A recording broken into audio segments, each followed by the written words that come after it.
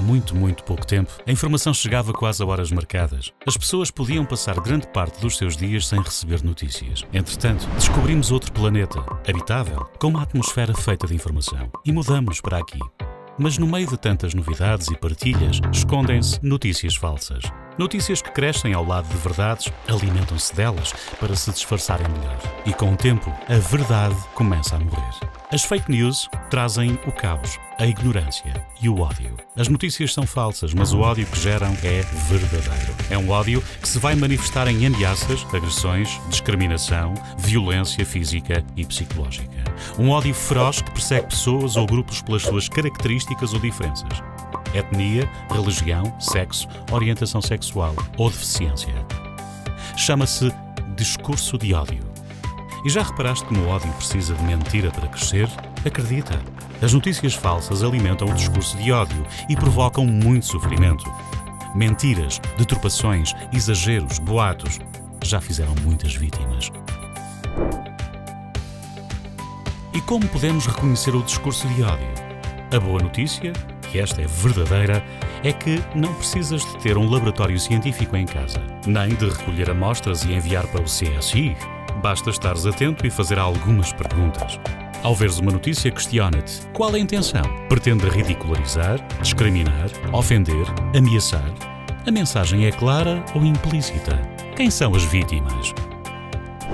Há fake news que não têm cura, por isso tens de te proteger.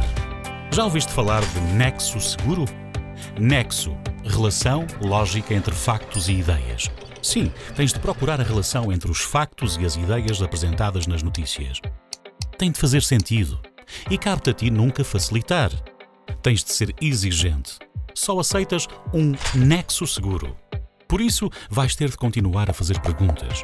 Quais são os argumentos utilizados? Assentam em factos ou apelam a emoções, crenças tradicionais, resultados prováveis? Quais as provas apresentadas? São feitas generalizações sobre indivíduos ou grupos? Existem outras perspectivas possíveis? Há uma coisa que tens de saber.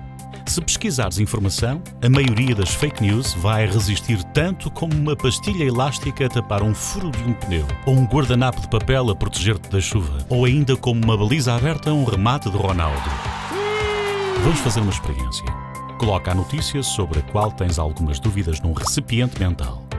Mistura com muita informação de várias fontes e observa. As fake news dissolvem-se em poucos segundos com muita e boa informação pesquisar e aprofundar as notícias é o teste do algodão às fake news. Por isso, deves sempre procurar outras fontes de informação. Pesquisar em diferentes motores de busca, usar sites de fact-checking, verificar a origem das imagens e fotografias. Quando identificamos uma fake news, não podemos virar as nossas costas e seguir a nossa vida como se nada fosse, porque já sabes que elas podem provocar muitas vítimas. Imagina que durante um passeio reparas que há um pequeno incêndio a deflagrar numa floresta, pouco maior do que uma fogueira. O que farias? Vais embora a pensar, pode ser que chova?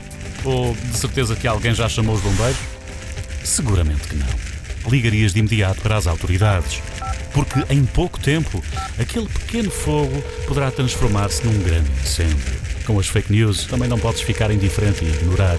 Deves denunciar o conteúdo usando os mecanismos disponíveis. Não partilhar sem primeiro analisar o conteúdo. Criar um conteúdo alternativo, positivo.